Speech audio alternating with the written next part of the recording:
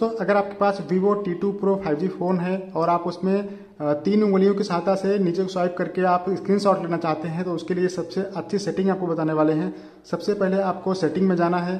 Setting में जाने के बाद यहाँ पर आप नीचे स्क्रॉल डाउन करेंगे तो यहाँ पर ऑप्शन मिलेगा शॉर्टकट एंड एक्सेसिबिलिटी इस पर आपको टैप करना है। इस पर टैप करने के बाद यहाँ पर देखिए एस कैप्चर लिखा हुआ है। इस एस कैप्चर को आपको क्लिक करना है।